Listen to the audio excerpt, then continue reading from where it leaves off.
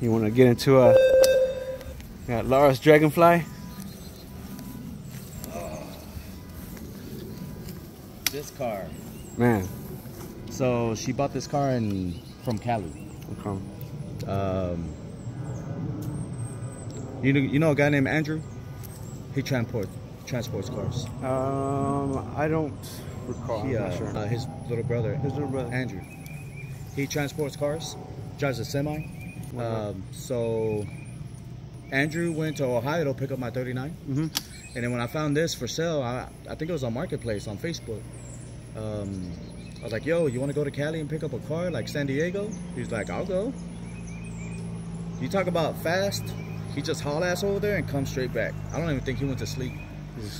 He A to B came back. went there, picked it up. Uh, so we bought this car because of what's in the trunk. Uh, we love the interior. We love the color. It had artilleries at first, and it had an original straight six. Uh, Well, not a, not original because they had a 250, but uh, it was automatic. Okay, gotcha.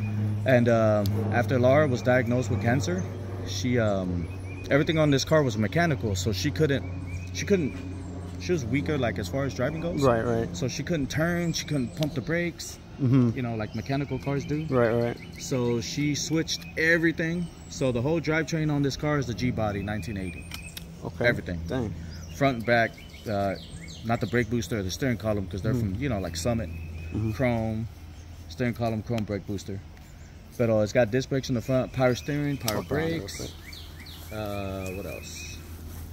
A Chevy, uh, like a '93 Chevy Suburban motor, a 350. Okay, cool. 700R transmission. And then she put airbags. So she bought this car from Cali. Couldn't drive it. So she redid the whole drivetrain, mufflers, everything, rewired the car, put air ride. And now you can just get in it and go.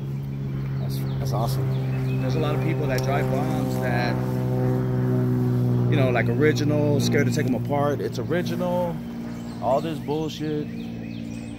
And to me, I don't like driving shit original. It's got to be. You know what's funny? I don't like G bodies Uh-huh. and the whole everything. Everything on it is a G body. That's fucked up. That's right. I, I like. Shout out to all the G bodies out there.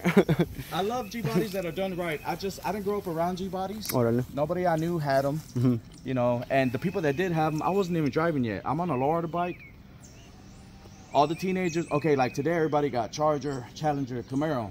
Well, back in the day, everybody had Cutlass, Regal, Monte Carlo on 13s and 14s. Mhm.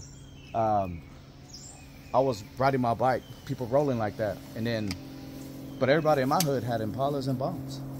You know, Right, like that's right. what I know. That's what I grew up around. right. My first car was an Impala. Nice.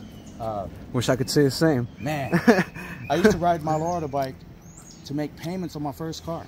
That's cool. Cheap. That's cool. That's crazy. Like you can't. Yeah, now you got to deposit your arm Yeah. and maybe another down payment with the leg. My, my, my first car was a Super Sport Impala 65. Um, like I don't know. I guess it was flaked out, but it was real faded, all fucked up. Mhm. Like flaked out red, fucking diamond tuck interior red. Uh, McLean's like the 59, Uh huh. two thousand dollars. Dang. Running and driving, just get in that bitch and go. Like man, Two thousand dollars. Can't find that shit no more. Oh no. Uh uh So the uh, the guy that I don't the guy that we bought this from, I don't think he actually built the car, but he did the interior. Uh, Okay. I think it's called Escondido Upholstery, Escondido and upholstery. which is Escondido. I think that's the name of the city. Uh, he's in like right outside San, San Diego. San Diego. Yeah. Let's check out that interior. And I think his trademark is pillows in the back seat. Because I seen it on some other cars that he had. Ah, I see. Ah, that's so clean and smooth. Looks better than the couches I have at home. The funny thing is, you sit in it, it feels like a couch. Yeah, Th- Those are real comfortable. nice and plush.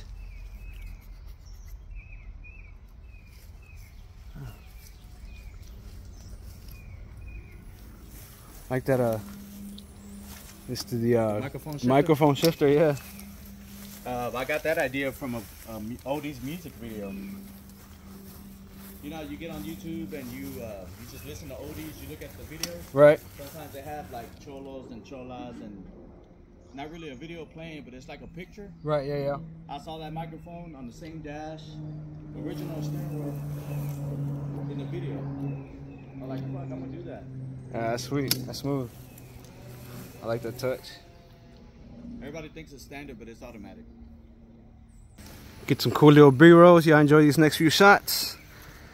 Here we go, Mark Steady TV.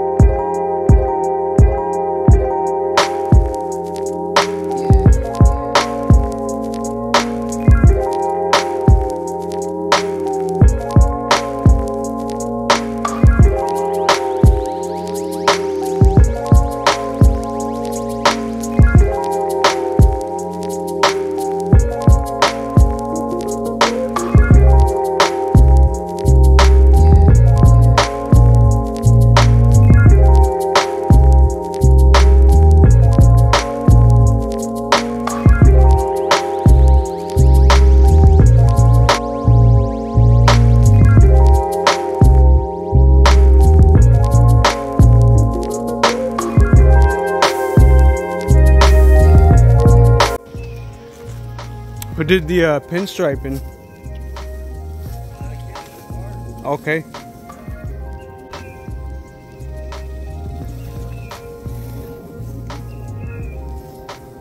So whoever pinstriped it, pinstriped the uh, the thermidor, the car, and the suitcase.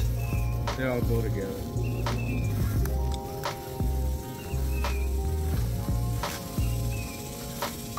Nice.